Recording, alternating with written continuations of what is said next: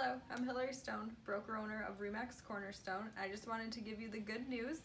At the awards gala on Friday, Remax Cornerstone took home the Broker Owner of the Year award. So if you're interested in seeing what we're doing here, um, we're up to big things, we're growing. We have that 70-30 split with a 10 grand cap. I'd really love to meet with you, show you the office, and talk about what we can offer you this year. Hope to hear from you soon. Bye.